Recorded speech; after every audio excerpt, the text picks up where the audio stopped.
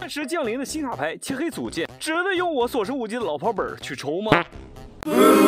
大家好，我是什么都不懂的超进化老萌新游戏宅玩家。近期不是上线了一张全新的怪兽卡牌漆黑组件吗？起初我对它并不感冒，因为穷的叮当响的我，就连一对主力阵容都没有凑齐。作为一个超进化无语二的玩家，我很抱歉。可是当我看到了它的那一刻，竟然有一种恋爱的感觉哦，我的少女之心啊！可是，一摸自己干瘪的口袋，唉，果然没钱，别玩高配啊！大郎，该吃药。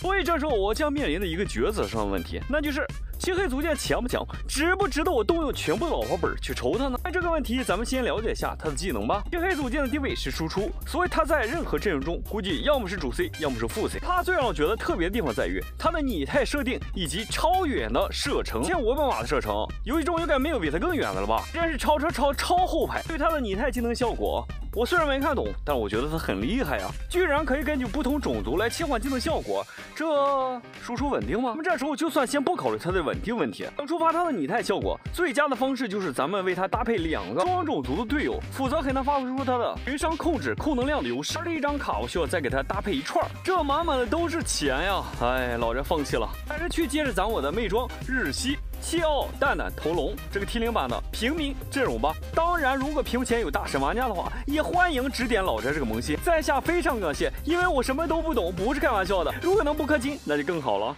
那么今天就先到这里吧，咱们下期再见。对了，差点忘了，今天的兑换码拟态启动，不是鸡，你太美啊。